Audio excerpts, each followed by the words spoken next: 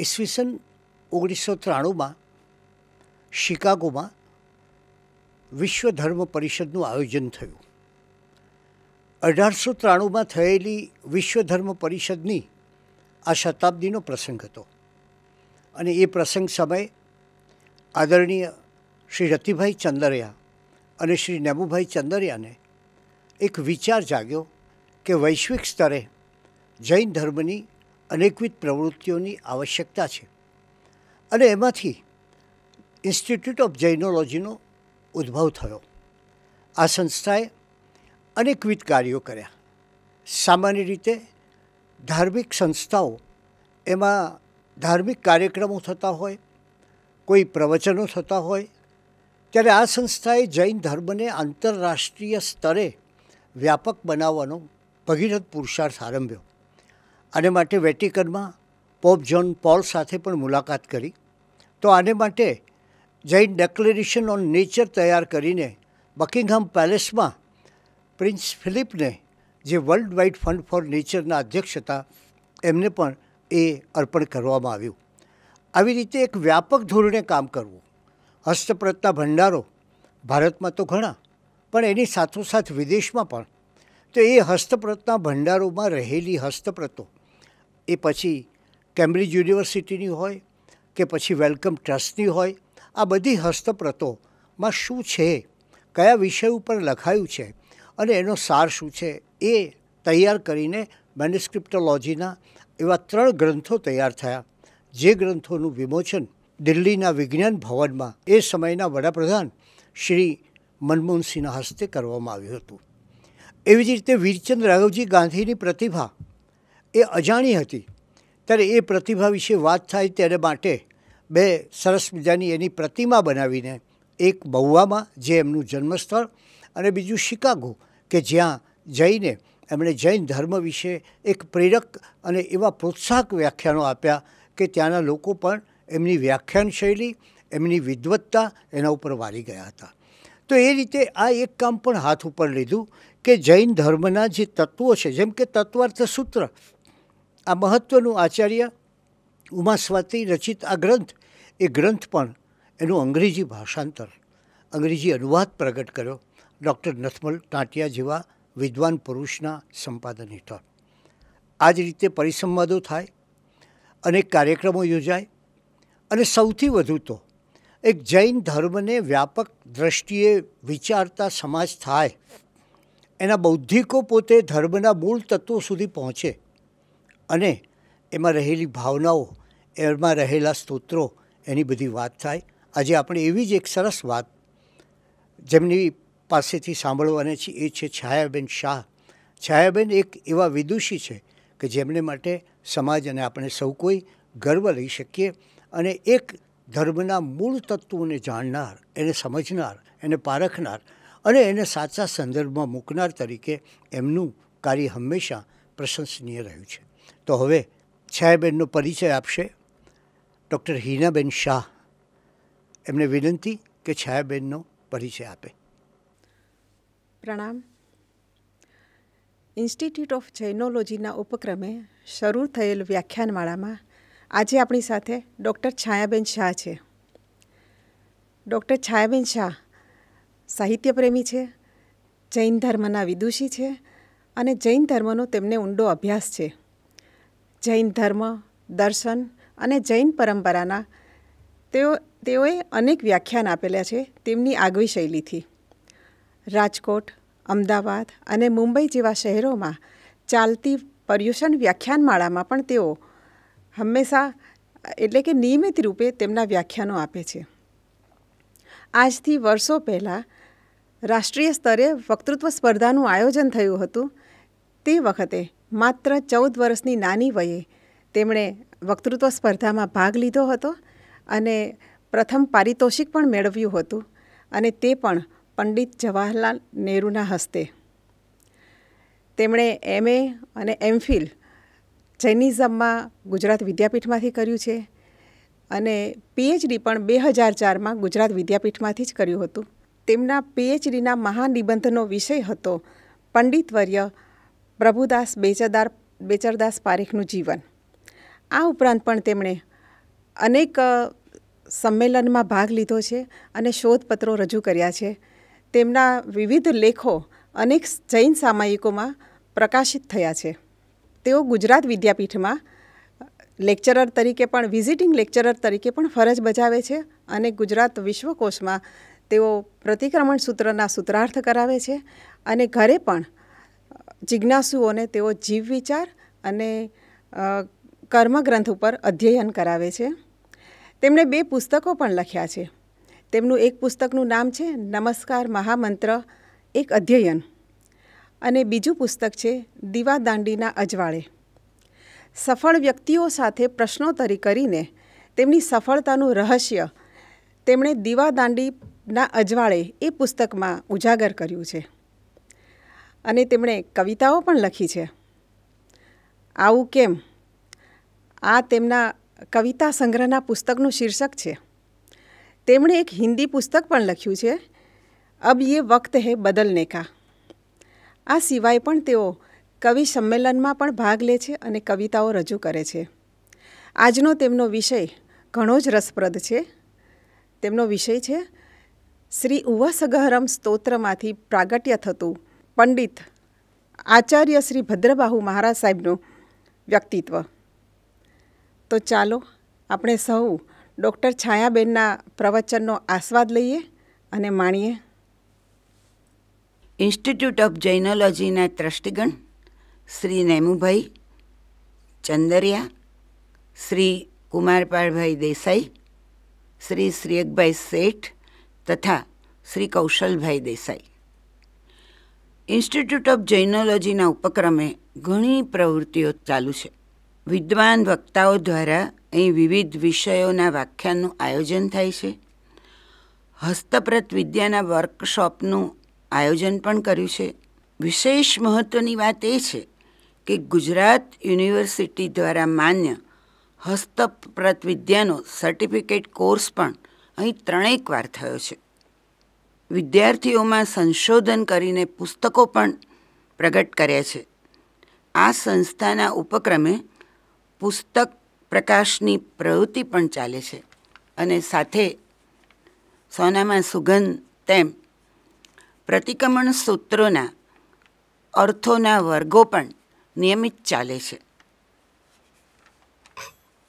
આવી સુંદર પ્રવૃત્તિ આ વિશ્વકોશ સંસ્થામાં બહુ નિયમિત રીતે ધબકતી જ રહે છે.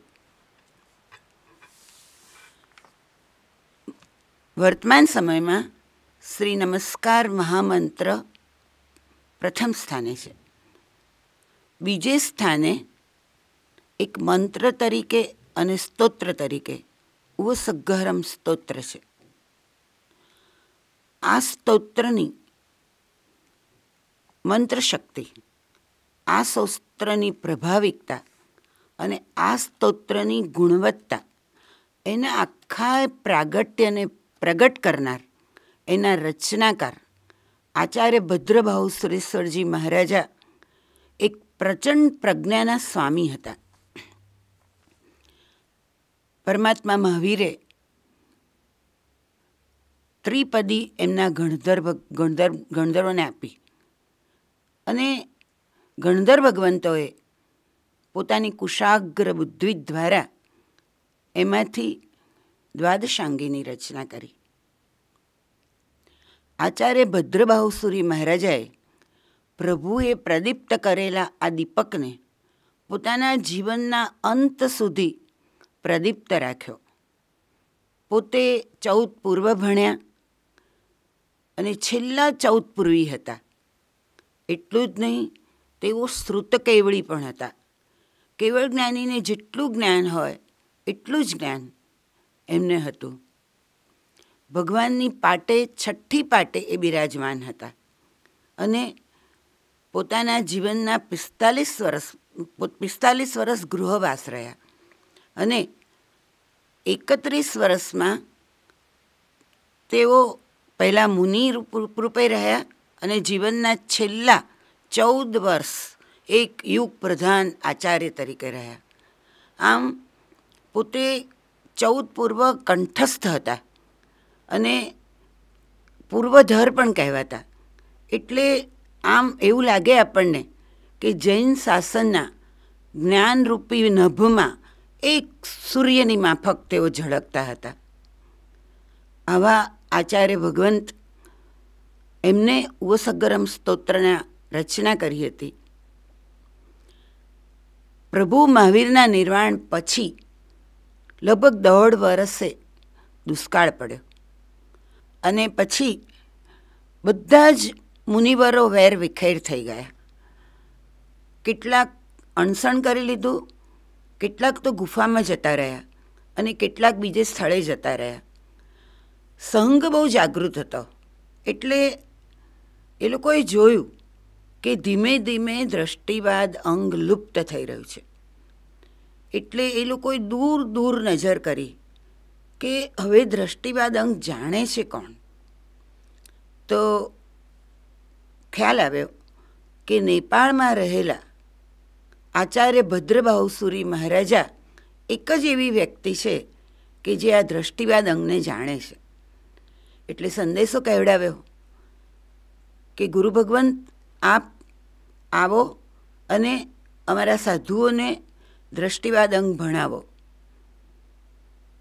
આ સંદેશો આચાર્યને પ્રાપ્ત થયો અને આચાર્ય ના કહેવડાવી સંઘને બહુ આશ્ચર્ય થયું, પણ સંઘે નિર્ણય કર્યો કે બીજી રીતે આપણે સંદેશો મોકલીએ. અને સંઘે કહેવડાવ્યું કે શું સંઘ આજ્ઞા કરે તો એને આચાર્યએ સ્વીકારવી જોઈએ કે નહીં? અને આચાર્યને આ સંદેશો મળ્યો, પોતાની ભૂલ સમજાઈ અને તુરત વળતો સંદેશો મોકલ્યો કે હું મારી ભૂલ કબૂલું છું, ક્ષમા માગું છું, પણ અત્યારે મારે અહીં નેપાળમાં મહાધ્યાન ચાલે છે. એટલે હું આવી નહીં શકું. પણ તમે જો અહીંયા સાધુઓનો મોકલી આપો સાધુઓને, તો હું જરૂર એ લોકોને ભણાવીશ અને જરૂર દ્રષ્ટિવાદનું જ્ઞાન આપીશ. આપણને આશ્ચર્ય થાય કે આટલી વિદ્વતાની સ્થાને બેઠેલા એક વ્યક્તિ એનું કેટલું સરળ હૃદય. એની કેટલી બધી હૃદયની નિર્મળતા કે ભૂલ થઈ તો પણ સ્વીકારી લીધી. સંઘની આજ્ઞા માથે ન ચડાવી, એની માફી માંગી લીધી. આટલી બધી પરાકાષ્ઠાનું એમનું જે હૃદય નિર્મળતા, એ ખરેખર એક પ્રશંસા થાય એવો ગુણ છે એમનો.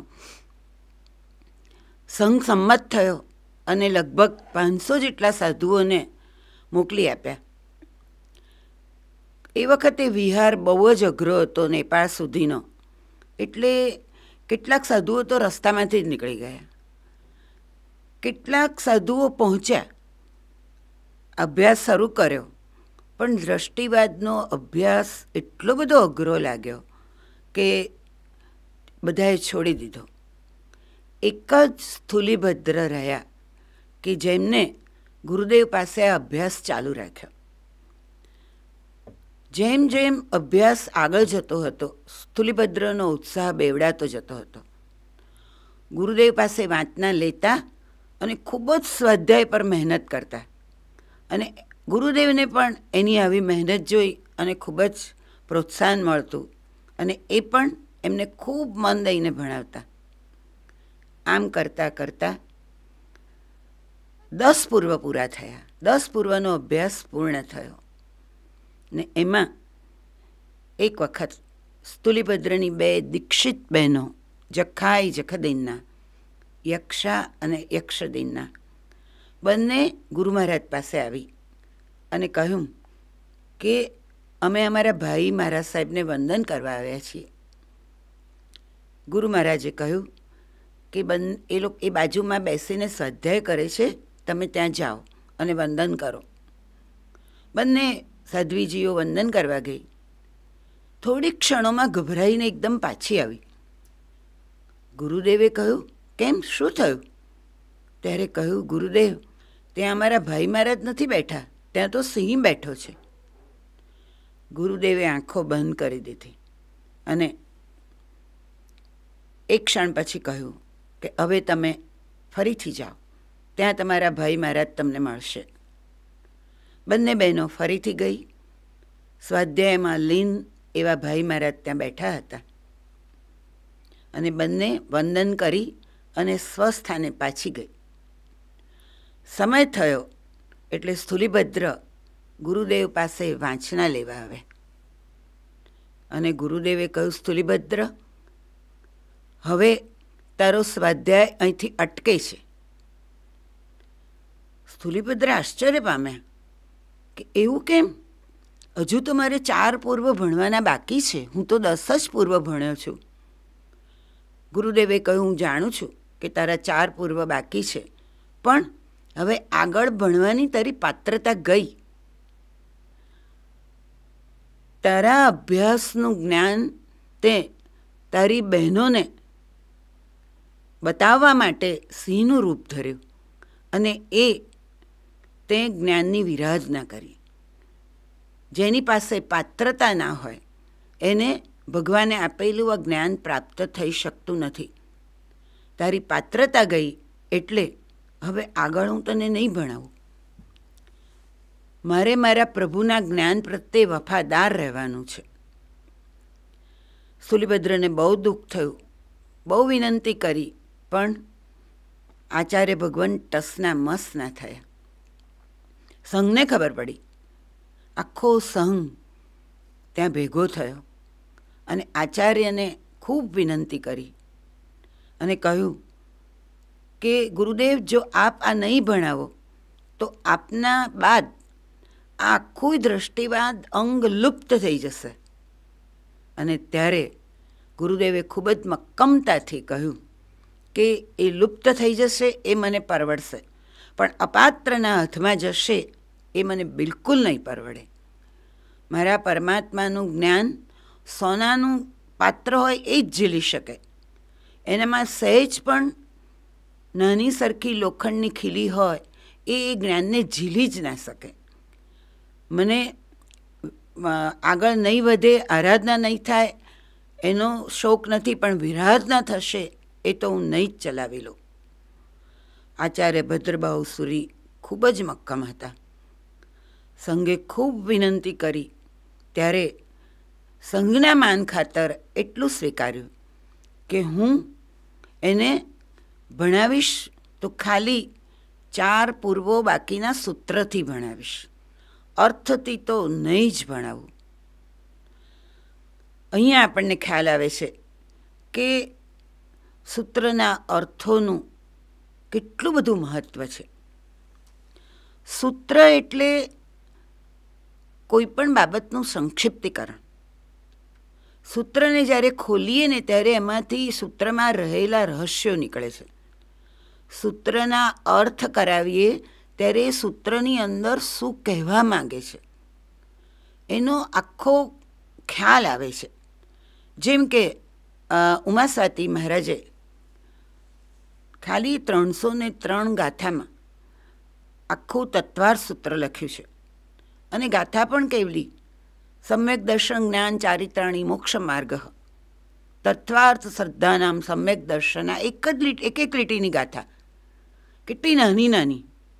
આ આવી સવા ત્રણસો ગાથામાંથી જ્યારે એના અર્થ કર્યા ત્યારે સિદ્ધસેન દિવાકર સુરીજીએ અઢાર હજાર શ્લોક પ્રમાણ ગ્રંથ લખ્યો. તો આપણને ખ્યાલ આવે છે કે સૂત્રના અર્થ જ્યારે ભણીએ, ત્યારે એનું વિશિષ્ટ જ્ઞાન તો ત્યારે જ પ્રાપ્ત થાય છે. અર્થ વગરનું સૂત્ર એ અડધું જ્ઞાન ગણાય છે. ને તેથી આચાર્યએ સંઘની વિનંતીથી સૂત્રનું જ્ઞાન આપ્યું, પણ અર્થનું જ્ઞાન તો ના જ આપ્યું.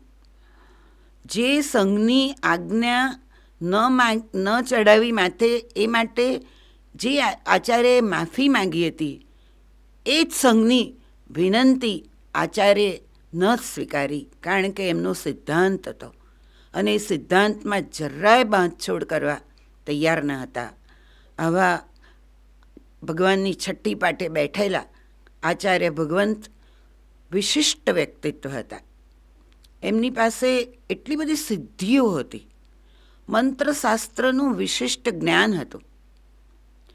સૂત્રના અર્થની વાત નીકળી એટલે મને એક વાત યાદ આવે છે. હું ગુજરાત વિદ્યાપીઠમાં ભણાવું છું અને એક વખત આ સૂત્રના અર્થની વાત કરી. ત્યારે વિદ્યાર્થીઓએ કહ્યું કે અમારે પણ આ ભણવું છે. પણ અમારી પાસે જગ્યાની કમી હતી. જગ્યા વગર ભણાવીએ ક્યાં? કુમારપાળભાઈને સાથે આ મસ્ત વાત થતાં થતાં મારાથી વાત થઈ ગઈ કે અમારે આવી રીતે ભણવું છે પણ જગ્યા નથી. એક ક્ષણનો પણ વિલંબ કર્યા વગર એમને મને કહી દીધું, જગ્યાની ક્યાં કમી છે? વિશ્વકોશમાં આવી જાઓ. તમારે જોઈએ બધી જ સગવડ તમને આપીશું. અને બીજે જ અઠવાડિયેથી એમને અમને અદ્યતન સામગ્રી સાથેનો એક મોટી જગ્યા આપી દીધી અને કહ્યું કે અહીંયા તમે ખુશીથી ભણાવો. બીજે જ અઠવાડિયેથી અમારો અભ્યાસ શરૂ થઈ ગયો. આજે એ વાતને બે વરસ થયા. અને નવકાર મંત્રથી શરૂ કરેલ સૂત્રોના અર્થ આજે સિદ્ધાણમ બુદ્ધાણમ સુધી પહોંચ્યા છે. મને જરૂર કહેવાનું મન થાય છે કે કુમારપાળભાઈએ ખરેખર આ પગલું ઉઠાવીને એક મહાન પુણ્ય બાંધ્યું છે. એમને જેટલા ધન્યવાદ આપીએ, તેટલા ઓછા છે. અમે બધા એમના ઋણી છીએ.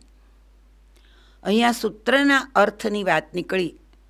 એટલે એક બીજી વાત તરફ પણ મને ધ્યાન દોરવાનું મન થાય છે. સ્થુલીભદ્રે એક આટલી જ ભૂર કરેલી કે પોતાની વિદ્યા બતાવવા માટે સિંહનું રૂપ ધરેલું અને આચાર્ય ભગવંતે એમનો અભ્યાસ બંધ કરી દીધો. આજે વર્તમાન સમયમાં આપણે જ્યારે ગમે તેવી જીવનશૈલી હોય આપણી. ને છતાંય આગમો ખોલી ખોલીને બેસી જઈએ છે. અને મન ફાવે એ પ્રમાણે એનું વિશ્લેષણ કરી અને પ્રવૃત્તિ કરીએ છીએ એ કેટલું યોગ્ય છે. આગમ સમજવા માટે કેટલી પાત્રતા કેળવવી પડે, કેટલી યોગ્યતા કેળવવી પડે, ખરેખર આ દિશામાં વિચાર કરવા યોગ્ય છે. એનું મહત્ત્વ સમજવું એ જુદી વસ્તુ છે અને એને ખોલીને બેસી જવું એ જુદી વસ્તુ છે. ખરેખર આની પર શ્રી સંઘે વિચારણા કરવા જેવી છે. આચાર્ય ભગવંત એમનું ધ્યાન પૂરું થયું, પછી નગરમાં આવીને વસ્યા. એમના એક ભાઈ હતા, વરાહ મિહિર. બંને સાથે દીક્ષા લીધી હતી. કોઈ કારણસર વરાહ મિહિર દીક્ષા છોડી દીધી. અને એ જ્યોતિષશાસ્ત્રના જાણતા, જાણકાર હતા. રાજાને ત્યાં પુત્રનો જન્મ થયો અને વરાહ મિહિર રાજાને વધામણી આપવા ગયા અને કહ્યું, હું તમારા પુત્રની કુંડલી બનાવી આપું. અને એમાં લખ્યું કે પુત્ર સો વર્ષનો થશે, એવા આશીર્વાદ આપું છું. અને સાથે ભંભેરણી પણ કરતા ગયા કે બધા જ આવ્યા વધામણી આપવા. પણ આચાર્ય ભદ્રબાહુ આવ્યા નથી. રાજાને પણ અયોગ્ય લાગ્યું. એટલે એમને સંદેશો મોકલ્યો કે તમે કેમ નથી આવ્યા મને વધામણા આપવા. અને આચાર્ય પણ મહાન જ્યોતિષ આચાર્ય હતા. અને કહ્યું કે તમારે ત્યાં બે વાર શા માટે આવવું રાજાએ કહ્યું કે, મેમ, તો કે અઠવાડિયા પછી જ તમારો પુત્ર મરણ પામવાનો છે અને બિલાડીથી એનું મૃત્યુ થવાનું છે. પછી હું આવીને શું કરું? એ વખતે હું આવીશ જરૂર તમારી પાસે તમારો શોક ઓછો કરવા. અને ખરેખર અઠવાડિયા પછી પુત્રનું મરણ થયું. ગુરુ મહારાજ ગયા રાજાને એમનો શોક ઓછો થાય એવી, એવો ઉપદેશ આપ્યો. રાજા પગે પડી ગયો. પણ કે ગુરુદેવ, તમે તો કહેતા હતા કે એ બિલાડીથી મરશે. મેં આખા નગરમાં બધી બિલાડીઓને બહાર કાઢી મૂકી હતી. તો એ કેમ સાચું ના પડ્યું? ને ત્યારે આચાર્ય કહ્યું કે માતા એને ખોળામાં લઈને બેઠેલી, ત્યાં ઉપર જે પથ્થર હતા એ પથ્થરમાં બિલાડીનું ચિત્ર હતું. અને એ આખો પથ્થર પુત્રના માથે પડ્યો અને એનાથી એનું મરણ થયું. રાજાએ બધું જોયું અને ગુરુદેવના પગે પડી ગયો કે તમારી વાત સતસ સાચી છે. પણ અહીં બરામીર ખોટો પડ્યો. એને લખ્યું હતું સો વર્ષનું આયુષ્ય સાત દિવસમાં જ પતી ગયું. એટલે રાજાએ એને ખૂબ અડધૂત કર્યો અને નગરની બહાર કાઢી મૂક્યો. વરામિહિર ખૂબ ગુસ્સે થયો. પોતાનું અપમાન એ સહન ના કરી શક્યો. મૃત્યુ પામ્યો અને વ્યંતર દેવ થયો. ઉપયોગ મૂકતા એને જોયું કે આ નગરના લોકોએ અને આ નગરના રાજાએ મારા પેલા ભાઈને કારણે મને આવી રીતે અડધૂત કર્યો હતો. મારું અપમાન કર્યું હતું. એટલે બદલો લેવા માટે એને આખા નગરમાં મહામારીનો રોગ ફેલાવી દીધો. એક પછી એક લોકો મરવા માંડ્યા અને શેના લીધે મરે છે એ કોઈને ખ્યાલ પણ ના આવે કે કોઈ એનો રોગ ઉપચાર કરી શકે. છેવટે રાજા આ બધું જાણીને આચાર્ય દેવના શરણે આવ્યો કે ગુરુદેવ, હવે તમે એક જ છો કે જે અમને આ મહામારીમાંથી બચાવી શકશો. ગુરુદેવ વિચાર્યું, કરુણાના સાગર હતા, સિદ્ધાંતવાદી હતા, પણ સાથે કરુણાના સાગર હતા. તિથૈરો સમોસુરી એમને વિચાર્યું કે જ્યારે તીર્થંકર ના હોય, ત્યારે આચાર્યની ફરજ છે કે સંઘનું સંતુલન જાળવવું, સંઘના વિઘ્નો દૂર કરવા. અને એમને નગરવાસીઓને કહ્યું, મને થોડો સમય આપો. આચાર્ય ભગવંત આંખો બંધ કરી ગયા અને આખી પરિસ્થિતિ જાણી લીધી કે આમ કેમ થઈ રહ્યું છે. ને આંખો બંધ કરી અને ધ્યાનમાં જતા રહ્યા. થોડી વારમાં આંખો ખોલી અમને એમના માનસ પટમાં ઉવસગરમ સ્તોત્રનો જન્મ થયો. આચાર્ય ભગવંતે જીવનની પોતાની આખી સાધનાને નીચોવીને ઉવસગરમ સ્તોત્રનો અભિષેક કર્યો. અને પોતે આ સ્તોત્રની રચના કામમાં વ્યસ્ત થઈ ગયા. આ સ્તોત્રના અર્થ જેમ જેમ ખોલીશું, તેમ તેમ એના રહસ્યો બહાર આવે છે. એટલું જ નહીં, આચાર્ય ભગવંતના એક એક ગુણોની ક્રમ આપણને જોવા મળે છે. આચાર્ય ભગવંતે સૌ પ્રથમ આ સ્તોત્રને પ્રભુ પાર્શ્વનાથને સમર્પિત કર્યું. અહીંયા એમની દીર્ઘ દ્રષ્ટિ દેખાય છે. દીર્ઘ દ્રષ્ટવા તરીકે દેખાય છે આપણને. આટલા બધા તીર્થંકર, ત્રેવીસ તીર્થંકર હોવા છતાં, એમને ત્રેવીસ તીર્થંકરના કીર્તન સ્તવનથી ચોક્કસ આ વિઘ્ન દૂર થઈ શકે. ને છતાંય, એમને પાર્શ્વનાથ પ્રભુને જ કેમ આ સમર્પિત કર્યું? તો કહે છે કે પ્રભુ પુરુષાદાની હતા. પાર્શનાથ પ્રભુ પુરુષ પુરુષાદાનીય છે. અને બીજું કારણ, એમનું આદેય નામ કર્મ ખૂબ જ પ્રબળ હતું.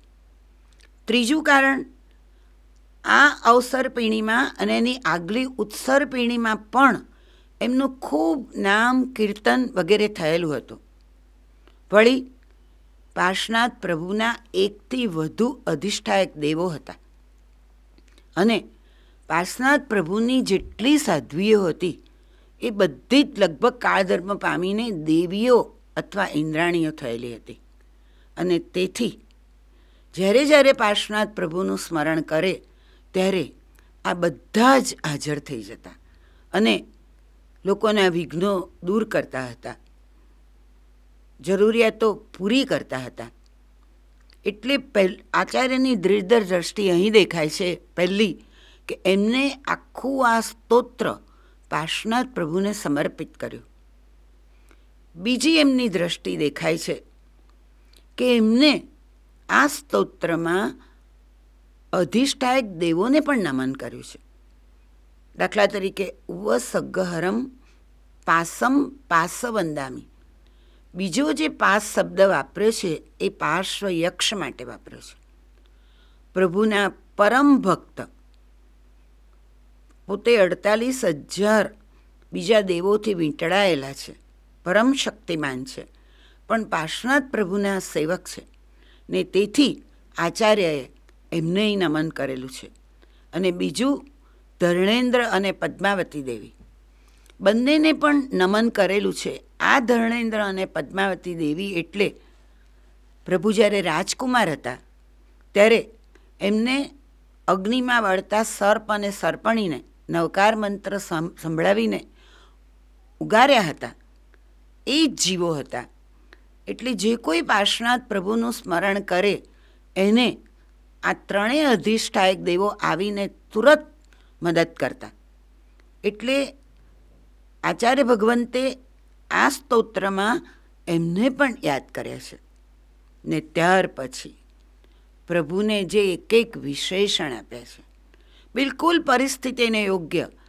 એમની છે ને આમ આપણને એક એક ગાથા વાંચતા જઈએ.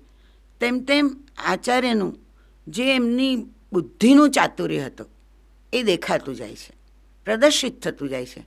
જુઓ પ્રભુને વિશેષણ પણ કેવા આપ્યા. પહેલું જ વિશેષણ, ઉવ સગ્ગહરમ પ્રભુ તમે કેવા છો? ઉવો ઉપસર્ગોને હરનારા છો અને અત્યારે એની જ જરૂર હતી. ભયંકર ઉપસર્ગ આવ્યો છે. અને એ ઉપસર્ગોને હરવાની જ જરૂર હતી એટલે પહેલું જ વિશેષણ આપ્યું. ઉવસગ્ગહરમ પાસમ પાસમ વંદામી. ને બીજું વિશેષણ આપ્યું, કમ્મ ગણ મુક્કમ પ્રભુ, તમે કર્મોથી મુક્ત છો. મંગલ કલ્યાણ આવાસમ. મંગલ અને કલ્યાણના આવાસ જેવા છો. એટલે કે અમંગલ અને અકલ્યાણ દૂર કરનારા છો. એક એક વિશેષણથી પ્રભુને એવા નવાજ્યા છે કે વર્તમાન પરિસ્થિતિને કાબૂમાં લાવવા માટે આ સુંદરમાં સુંદર રસ્તો હતો. એટલે આચાર્ય દરેકે દરેક શબ્દ સાથે દ્રષ્ટિ વાપરી છે. અને ત્યારબાદ એમને બહુ જ એક પ્રબળ કામ કર્યું. મૂક્યો મંત્ર પોતે જે ચૌદ પૂર્વ ભણેલા હતા, એમાંથી વિસર ફુલિંગ નામનો મંત્ર આખો ઉદ્ધર્યો પોતે. અને જેટલા નગરના લોકો હતા, એ લોકોની આજુબાજુ જાણે કે કિલ્લો બાંધી દીધો. કે જે કોઈ આ વિસહર ફુલિંગ નામના મંત્રને ભણશે, વાંચશે, એને બધા જ વિઘ્નો નાશ થઈ જશે. કંઠે ધારે જો સયામણુઓ, તસ્સ ગહ રોગ મારી દુઠ્ઠ જરા જંતી વો સામમ. પોતાની શક્તિથી આખો મંત્ર ઉદ્ધર્યો અને આજુબાજુ કિલ્લો બાંધી દીધો. આ પણ એક આશ્ચર્યની વાત એ છે કે આચાર્ય આ મંત્ર ખાલી ઉલ્લેખ કર્યો, પણ સ્પષ્ટ રીતે ક્યાંય મૂક્યો નથી. એને તિરોહિત રીતે આ ઉવસગરમ સ્તોત્રમાં આ મંત્રને મૂક્યો છે. તિરોહિત રીતે એટલે એના શબ્દોને જુદી જુદી જગ્યાએ છાંટ્યા, પણ એક સાથે ઉલ્લેખ નથી કર્યો. આવું જ બન્યું છે માનતુંગ સુરી મહારાજા સાથે. માનતુંગ સુરી મહારાજા એમને એક વખત માન, માનસિક રોગ થયો અને અસહ્ય લાગતો હતો, એટલે એમને અણસણ કરવાનો નિર્ણય કર્યો અને ત્યારે ધર્ણેન્દ્ર પ્રગટ થયા. એમને કહ્યું, ગુરુદેવ, આપણે હજુ આપણું બહુ આયુષ્ય લાંબુ છે અને આપણે હજુ ઘણું કામ કરવાના છે. માટે હું તમને એક મંત્ર આપું છું. તમે એ મંત્રની આરાધના કરજો અને તમારું આરોગ્ય સારું થઈ જશે. અને ધર્ણેન્દ્ર, ધર્ણેન્દ્રએ પણ આચાર્ય ભદ્રબાહુસુરી મહારાજાના મુખેથી નીકળેલો આ જ મંત્ર વિસ્સર ફુલિંગ મંત્ર જેને ચિંતામણી મંત્ર પણ કહેવાય છે. માનતુંગ સુરી મહારાજાને આપ્યો. માનતુંગ સુરી મહારાજાએ એની આરાધના કરી અને સંપૂર્ણપણે નિરોગી થઈ ગયા. અને પોતે આનાથી નિરોગી થઈ અને પછી વિશિષ્ટ કામો કર્યા પણ આશ્ચર્યની વાત એ છે કે એમને પણ પછી નમ્યુણ સ્તોત્ર બનાવ્યું, જેને ભયહર સ્તોત્ર પણ કહે છે. એમાં પણ આ મંત્રને તિરોહિત રીતે જ મૂક્યો. સ્પષ્ટ રીતે ના મૂક્યો. એટલે આપણે કેવું વિશ્લેષણ કાઢી શકીએ કે આ બંને આચાર્યોને એવો મનમાં આશંકા હશે કે આવનાર પ્રજા એને જો આ મંત્ર સીધો આપીશું, તો દુરુપયોગ પણ થઈ શકે. માટે તિરોહિત રીતે મૂકો, જે એને યોગ્ય હશે, એને જ આ મંત્ર પ્રાપ્ત થશે. અને એ એનો છેક સુધી એનો પહોંચી અને એનો ઉપાય કરી શકશે. પણ છતાંય આચાર્ય ભદ્રબાહુ સુરી મહારાજાએ આ મંત્ર ઉવસગરમ સ્તોત્રમાં મૂક્યો તો ખરો જ કે જેથી ભવિષ્યમાં પણ કોઈને આ કામ લાગી શકે. એટલે ચોથું કામ એમને આ કર્યું, આવેલી પરિસ્થિતિને એનાથી બચવા માટે. ને ત્યારબાદ આચાર્ય ભગવંત પોતે.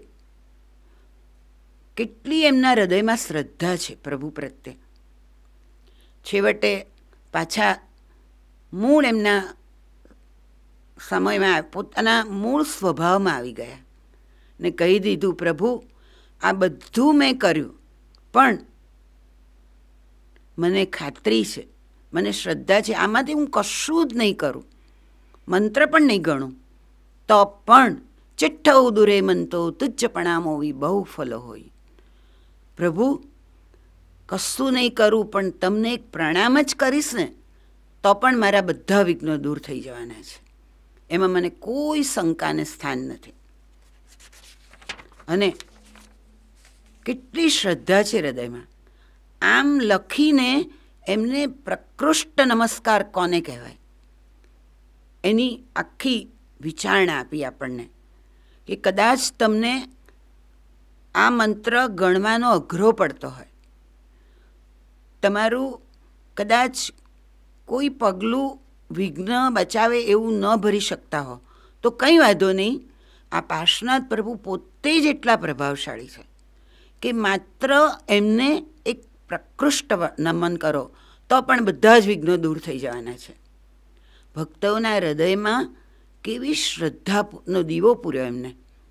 અને આ પ્રકૃષ્ટ નમસ્કાર કોને કહેવાય? એનું પણ એમને સુંદર એ રીતે વિવેચન આપ્યું. પરમાત્મા પાસે જ્યારે જઈએ ને, ત્યારે એક મનમાં વિચારણા લઈને જવાની કે પ્રભુ અનંત કાળથી હું આ સંસારમાં ભમી રહ્યો છું. અને કેટલાય ભવો ભમીને મને તમારું આજે દર્શન થયું છે. કેટલાય મેં પુણ્યો કર્યા હશે ત્યારે આપનું આ દર્શન મને મળ્યું છે. તો હવે આજે એવું દર્શન હું કરી લઉં.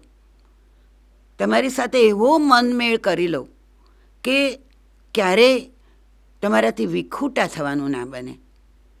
તમારા મય બની જવું આનંદગંજી મહારાજાએ જેમ કહ્યું છે, તુજે મુજે મુજે તુજે અંતર ભાંજશે, વાગશે મંગળતુર.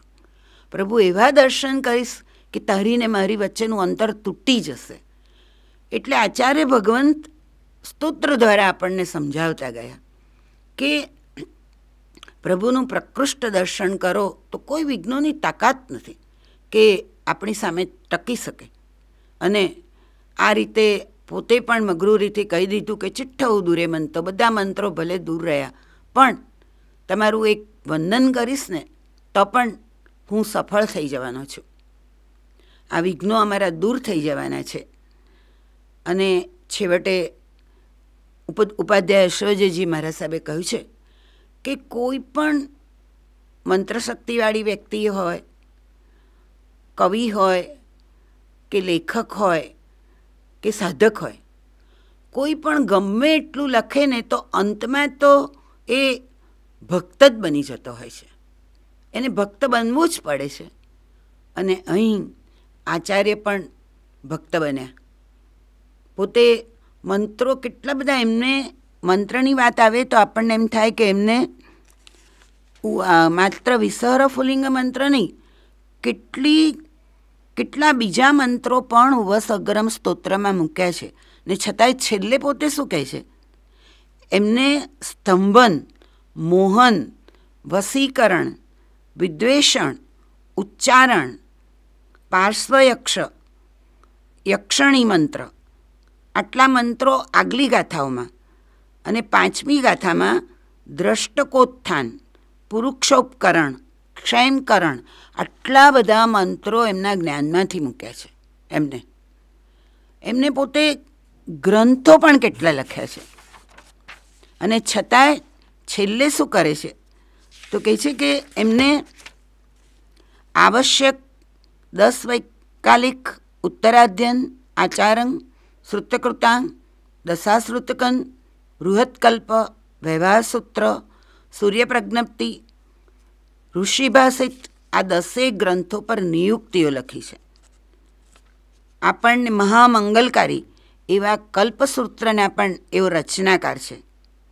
દશાકલ્પ, વ્યવહાર અને નિશિત આ ચાર છેદ સૂત્રો ભદ્રબાહુ સંહિતા તથા ઉવસગરમ આમ સોળ રચનાઓ એમના નામે નોંધાઈ છે.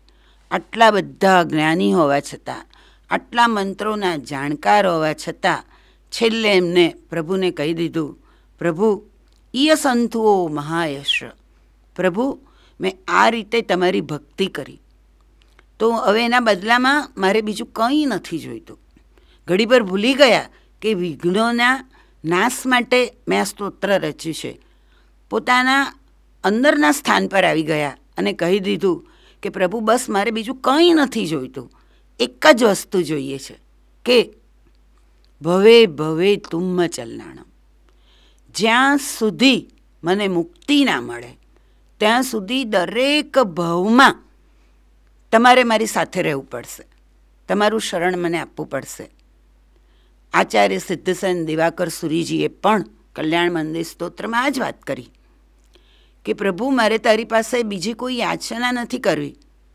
પણ બીજી યાચનાઓ છોડીને એમને એવી એક યાચના કરી લીધી કે બધી જ યાચનાઓ નિર્બળ બની ગઈ. એમને પણ આ જ વાત કરી કે મારા ગમે એટલા ભાવ બાકી હોય મોક્ષ મેળવવામાં, પણ મારી વિનંતી તમારે માનવી પડશે કે દરેક ભાવમાં તમારે મને તમારું શરણ આપવું પડશે. અને આવી યાચનાથી એ લોકો એટલા બધા પવિત્ર થઈ જાય છે. અને ભગવાને પણ આ રીતે એવી વ્યવસ્થા થઈ જ જાય છે કે એમને ભવો ભવ પરમાત્માનું શરણું મળે છે. આમ આચાર્ય ભદ્રબાહુ સૂરીએ અહીંયા ઉવસગ્રમ સ્તોત્રની પૂર્ણાહુતિ કરી અને પોતે એટલા બધા નિર્મળ બની ગયા એટલા બધા પવિત્ર બની ગયા કે આ આખા વાતાવરણને બદલાઈ જવું પડે. આચાર્યએ સંઘના બધા જને કહ્યું કે હવે આ ઉવસગરમ સ્તોત્રનો મુખ પાઠ કરજો અને કોઈ આપત્તિ અહીં રહેશે નહીં. આખા સંઘમાં બધા ઉવસગરમ સ્તોત્રનો મુખપાઠ કરવા માંડ્યા અને થોડા જ સમયમાં આખી મહામારી સમાઈ ગઈ. આખો સંઘ આચાર્યને શરણે આવ્યો અને પગે પડી ગયો. ગુરુદેવ, તમારો ઉપકાર માનીએ એટલો ઓછો છે. આ વાક્ય જ્યારે હું બોલું છું ને, ત્યારે ઘડી પર આંખ ભીની થઈ જાય છે કે, પ્રભુ, અત્યારે અમારી પાસે પણ એક ક્ષણ માટે આવો અને અમારી મુશ્કેલી દૂર કરો. ખરેખર, આવા મહાન પુરુષ માટે એમની, એમના વિશે કંઈ બોલવું કે એમની પ્રશસ્તિ કરવી, એ અશક્ય કામ છે આમ તો. આ ઉવસગરમ સ્તોત્ર એ વખતે પ્રભાવશાળી હતું અને આજે પણ એટલું જ લીલુંછમ છે. આચાર્ય ભગવંત નથી, પણ એક એવી વસ્તુની રચના કરીને ગયા છે, એક એવી પવિત્રતાની રચના કરી ગયા છે કે આજે પણ એટલું જ જીવંત છે. આજે પણ એટલો જ એનો પ્રભાવ છે અને એના પ્રબળ સાક્ષ્ય છે આચાર્ય નમ્રમુનિ મહારાજા, જેમને રાષ્ટ્રસંત કહેવાય છે. એમને પોતે એમને પોતે એમના મોઢે કહેલી વાત છે કે મને ડૉક્ટરોએ કહી દીધું હતું કે આ આને જીવવાની કોઈ આશા નથી. મારા માતા પિતાએ પણ આશા છોડી દીધી હતી અને ખબર નહીં કોઈ મારા પુણ્યથી મને અંદરથી આ ઉપસગ્રમ સ્ફૂર્યું. હું ભણ્યો પણ નથી કોઈની પાસે. પણ અંદરથી મને આ ઉપસગ્રમની સ્ફૂર્ણા થઈ. મેં એની આરાધના કરવા માંડી. મેં એની નિયત પાઠ કરવા માંડ્યો. અને મારા બધા જ રોગો દૂર થઈ ગયા. પછી મને દીક્ષા લેવાનું મન થયું. અને આપણે જોઈએ છીએ એ દીક્ષિત પણ થયા. અને આજે કેટલી ઊંચી આધ્યાત્મિકતાના લેવલ પર પહોંચી ગયા છે. એટલે આજે પણ ઉવસગરમ સ્તોત્રનો આટલો જ પ્રભાવ છે. એને આપણે મુખપાઠ કરીએ, આચાર્ય ભગવંતે કહ્યું હતું એમ. પણ એમાં શ્રદ્ધા જોઈએ, એકાગ્રતા જોઈએ, તો આજે પણ આ પ્રભાવ આપણે પ્રાપ્ત કરી શકીએ છીએ. હું તો એક બિંદુ છું. સાગરની રચનાને કેવી રીતે સમજાવી શકું? પણ છતાંય સાગરનો એક ભાગ તો છું જ ને. એટલે આચાર્ય ભગવંતની પ્રશસ્તિ કરવાનો પ્રયત્ન કર્યો છે. જરૂર એ અધૂરી જ હશે. પણ છતાંય એક વાત કહેવાનું મન થાય કે જે કોઈ ઉવસગરમની આરાધના કરતું હોય, એને પ્રથમ આચાર્ય ભગવંતનું એક કલ્પના ચિત્ર નગર, નજર સમક્ષ લાવવું જોઈએ. અને પ્રથમ તેમના ચરણોમાં વંદના કરી.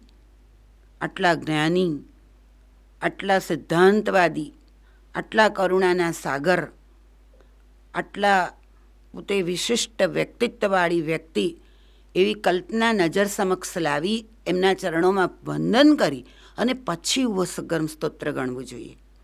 આવી રીતે જો આપણે ગણીશું, તો ચોક્કસ વસગરમ સ્તોત્રનો પ્રભાવ આજે પણ આપણે જરૂર જોઈ શકીશું. આ તો વસગરમ સ્તોત્રની રચના અને એના રચનાકાર વિશે મારે બોલવાનું હતું. એથી જેટલી માહિતી પ્રાપ્ત થઈ એ પ્રાપ્ત કરી અને અહીંયા લાવવાનો પ્રયત્ન કર્યો છે. હજુ ઘણી બધી માહિતી અપ્રાપ્ય પણ હશે. પણ સાથે એટલું કહેવાનું મન થાય કે આવા સ્તોત્ર આપણને મળ્યા છે, આવા પવિત્ર સ્તોત્રો આપણને મળ્યા છે, તો આપણે પણ ખૂબ જ એમાં ધ્યાન રાખી અને એની રોજ સ્તવના કરવી જોઈએ. આનાથી વધારે બીજું કશું છે જ નહીં. આવું સુંદર તક મને કુમાર, મને બહુ આનંદની વાત એ છે કે જ્યારથી આ વિષય તૈયાર કરવાનો હતો, ત્યારથી મને ખૂબ જ આ સ્તોત્રનો વારંવાર પાઠ કર્યો. એને વારંવાર ખોલવાનો પ્રયત્ન કર્યો. મને પોતાને એમાંથી એટલું બધું જાણવા મળ્યું છે. એટલો બધો મારો સમય શુભ ગયો છે કે એના માટે મને અહીંયા આમંત્રણ આપીને કુમારપાળ ભાઈએ જે રીતે વ્યાખ્યાન આપવા માટે આવવાનું કહ્યું તે માટે સર્વપ્રથમ તો એમનો ખૂબ ખૂબ આભાર માનું છું. વિશ્વકોશ સંસ્થામાં એના ઉપક્રમે આવા મહાપુરુષને યાદ કરવાનો મને જે મોકો મળ્યો. એ માટે પણ સંસ્થાનો, ટ્રસ્ટીઓનો, સૌ કોઈનો ખૂબ ખૂબ આભાર માનું છું. અને મારાથી વક્તવ્ય સમાન. કોઈ પણ વિતરાગની આજ્ઞા વિરુદ્ધ બોલાયું હોય અથવા આચાર્ય ભગવાન ભદ્રબાહુ સૂર્ય મહારાજાનો કોઈ પણ અવિનય થયો હોય તો હું એની ક્ષમા માગું છું. જૈનમ જયતી શાસન બહુ જ સુંદર અને ભાવવાહી પ્રવચન ડૉક્ટર છાયાબેનનું રહ્યું અને સંસ્થા વતી અમે સૌ તેમનો આભાર માનીએ છીએ. ધન્યવાદ.